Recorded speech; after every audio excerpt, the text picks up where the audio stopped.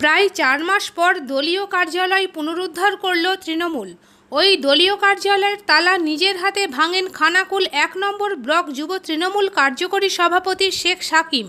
এরপর এদিন থেকেই ওই কার্যালয়ে পুনরায় দলীয় কাজকর্ম শুরু হয়ে যায়। পরে এলাকায় একটি মিছিলও করা হয়। ঘটনাটি খানাকুল এক নম্বর ব্লকের কিশোরপুর এক নম্বর গ্রাম পঞ্চায়েতের বন্দিপুর গ্রামের। এদিন শেখ সাকিম ছাড়াও উপস্থিত ছিলেন কিশোরপুর এক নম্বর গ্রাম পঞ্চায়েত প্রধান সন্দীপ বর সহ স্থানীয় নেতাকর্মীরা। তৃণমূলের অভিযোগ, গত লোকসভা নির্বাচনের পর কিছু বিজেপি কর্মী জোর করে ওই কার্যালয়ে তালা ঝুলিয়ে দিয়েছিল।